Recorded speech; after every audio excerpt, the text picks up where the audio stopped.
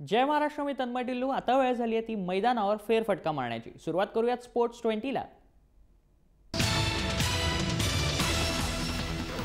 भारताचा अनुभवी टेनिसपटू लिएंडर पेस ऑस्ट्रेलियन ओपनच्या पहिल्या फेरीतून बाहेर पडलाय. पुरुष दुहेरीत ब्राझीलच्या आंद्रे साच्या जोडीनं खेळणाऱ्या पेसचा पहिल्या फेरीतच पराभव झालाय.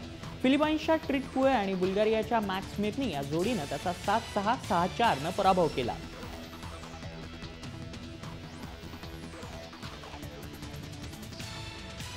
ऑस्ट्रेलियन ओपनमध्ये अव्वल सीडेड अँडी मरन आपली आगेकूच सुरू ठेवताना रशियाच्या आंद्रे रुग्वेलाचा सहा तीन सहा शून्य आणि सहा दोन असा पडशा पाडला. मरे भन्नाट फॉर्ममध्ये आणि तोच मेलबर्न पार्कवर त्याने दाखवून दिला. तिसऱ्या सेटमध्ये त्याच्या डाव्या पायाचा घोटा थोडाफार दुखावला होता आणि तेवढा एकच प्रतिकार मरेला झालाय.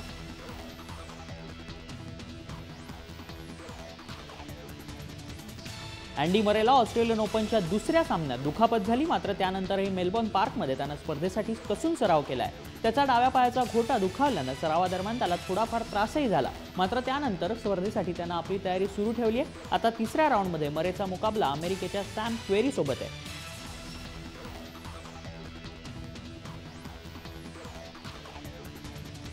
डिफेंडिंग चॅम्पियन नोवाक जोकोविचला ऑस्ट्रेलियन ओपनमध्ये धक्कादायक पराभवाचा सामना करावा लागलाय. पुरुष एकेरीत जागतिक क्रमवारीत एकशे सतराव्या स्थानी असलेल्या उझबेकिस्तानच्या डेनिस इस्टोमिननं जोकोविचचा पराभव केला. तब्बल चार तास सुरू असलेल्या या मॅचमध्ये डेनिसनं जोकोविचला सात सहा पाच सात दोन सहा सात पाच आणि सहा चार अशा सेट्सने हरवलंय.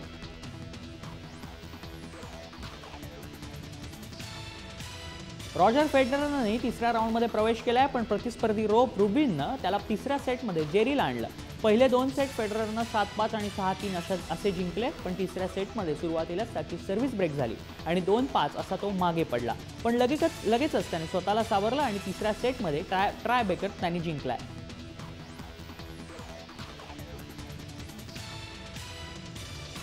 जपानच्या काय निशिकोरीला पहिल्या राऊंडमध्येच पाच सेट झुंजावं लागलं होतं. दुसऱ्या राऊंडमध्ये मात्र जेरी जेरीने जेरेमी यार्डीला त्यानं सहा तीन सहा चार आणि सहा तीन असं सहज हरवलं.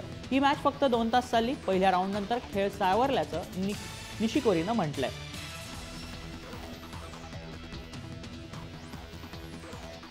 रॉजर फेडररचा स्विस साथीदार स्टॅनलिस्टाचं वॉर्विंकानंही तिसरी राऊंड गाठली. आहे दुसऱ्या रा दुसऱ्या मॅचमध्ये त्यानं अमेरिकेच्या स्टीव्ह जॉन्सनचा सहा तीन सहा चार आणि सहा चार असा पराभव केला.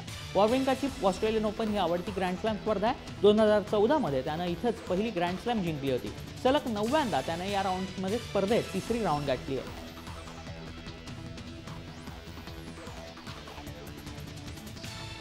ऑस्ट्रेलियन ओपनमध्ये एकमेव धक्कादायक निकाल नोंदवला गेला तो म्हणजे मरीन सिलिकाचा पराभव. इंग्लंडच्या डॅन इव्हासनं त्याला सहा तीन सहा सात पाच आणि सहा तीन तसंच सहा तीन असं हरवलं. इव्हान जागतिक क्रमवारीत एक्कावन्नाव्या स्थानावर आहे. मागच्या आठवड्यात एटीपी स्पर्धेची फायनल त्यानं गाठली. तोच फॉर्म त्यानं ग्रँड स्लॅममध्येही दाखवून दिला.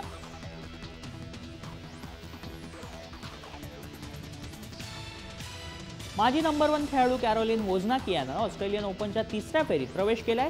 दुसऱ्या फेरीत तिनं क्रोशियाच्या डोना वेविक वेकिकाचा पराभव केला. अत्यंत अतितटीच्या सामन्यात वोझियांकानं विवेकीचा सहा एक सहा तीन असा पराभव केला दरम्यान तिसऱ्या राऊंडमध्ये वोझनियांकाची मुकाबला ब्रिटनच्या जोहान कोंतासोबत होणार आहे.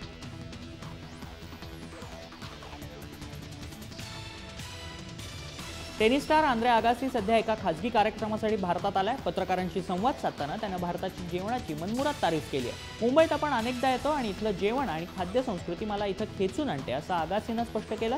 यापूर्वी दोनदा आगासी भारतात आलाय.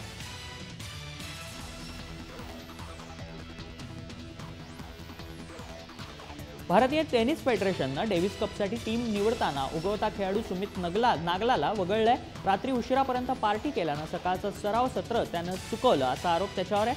म्हणून शिस्तभंगासाठी सुमितला टीममधून वगळण्यात आलंय. पण या फेडरेशनच्या निर्णयावर सोमदेव देवबर्मननं या आघाडीच्या खेळाडूनं टीका केली आहे. हा निर्णय घेण्यापूर्वी सुमितशी बसून एकदा चर्चा करायला हवी होती असं देवबर्मनला वाटतंय. तर सुमितनं आपल्यावरचे आरोप फेटाळले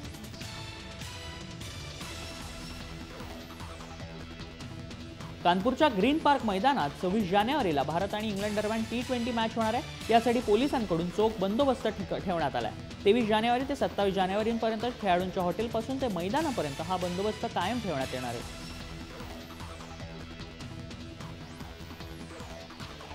क्रिकेट खेळण्यासाठी भारतासारखी कोणतीच जागा नसल्याचं वक्तव्य इंग्लंडचा वन डे टीमचा उपकर्णधार जोस बटलरनं केलंय. क्रिकेट खेळण्यासाठी भारत सर्वश्रेष्ठ ठिकाण असून खेळण्याचा पूर्ण आनंद इथे घेता येतो असंही तो म्हणाला.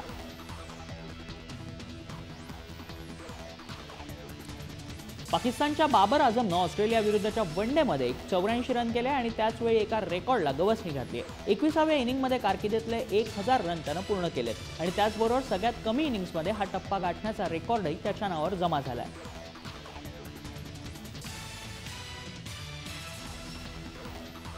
पाकिस्तानमध्ये दोन हजार नऊ पासून आंतरराष्ट्रीय क्रिकेट न खेळलं गेल्यानं पाकिस्तानचं खूप मोठं नुकसान झालं आहे अशी प्रतिक्रिया माजी क्रिकेटर इंजामाम उल हक यांनी दिली आहे. पाकिस्तानात आंतरराष्ट्रीय मॅचेस खेळावायच्या का नाही हे ठरवण्यासाठी तिथल्या सुरक्षेचा आढावा घेतला जाणार आहे. यासाठी आंतरराष्ट्रीय क्रिकेट संघाकडून पाकिस्तानात एक टीम पाठवली जाणार आहे. मात्र ही टीम आल्यानंतर त्यांनाही कळेल की पाकिस्तान आंतरराष्ट्रीय क्रिकेटच्या आयोजनासाठी सुरक्षित आहे असं इंजमामचं म्हणणं आहे.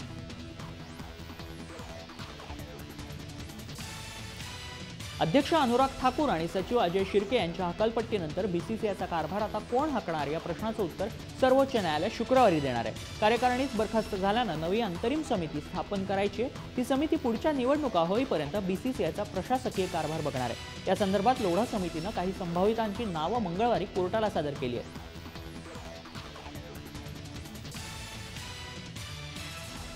बनावट वेबसाईट प्रकरणी दाखल केलेली याचिका मागे घेण्यासाठी भारताचे ज्येष्ठ धावपटू मिल्खा सिंग यांनी कोर्टात स्पष्टीकरण दिलंय. आरोपी पक्षानं माफी मागितल्यामुळे आणि त्यांना सुधारण्याची संधी देण्यात यावी यासाठी हा खटला मागे घेत असल्याचं त्यांनी सांगितलं. मिल्खा सिंग यांच्या नावाने बनावट वेबसाईट तयार करण्यात आली होती. दरम्यान या प्रकरणी एकवीस फेब्रुवारीला पुढील सुनावणी होणार आहे.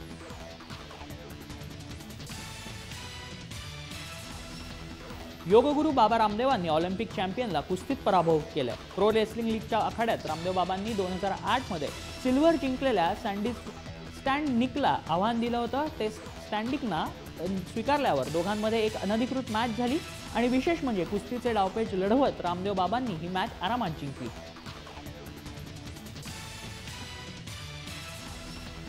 फ्रान्सचा स्टार खेळाडू अँटोनिओ ग्रिज ग्रिजमान हा रोनाल्डो आणि मेस्सी नंतर जगातला सर्वोत्तम फुटबॉलपटू मानला जातो.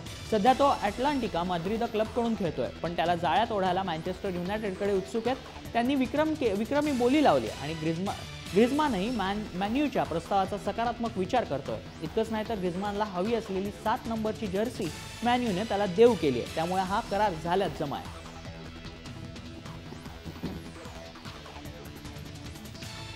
मँचेस्टर सिटीचा मिडफिल्डर इजाया टूअरनं चायनीज क्लबकडून आलेला प्रस्ताव फेटाळलाय चीनमधून सध्या फुटबॉलचा प्रसार होतोय. तिथेही लीग उभ्या राहतात त्यामुळे युरोपातल्या खेळाडूंना मागणी आहे. याला यायला एक आठवड्यासाठी पाच लाख वीस हजार पाऊंड मिळणार होते पण फुटबॉलचा स्तर बघून टूअरनं इंग्लिश लीगमध्येच खेळण्याचा निर्णय घेतलाय.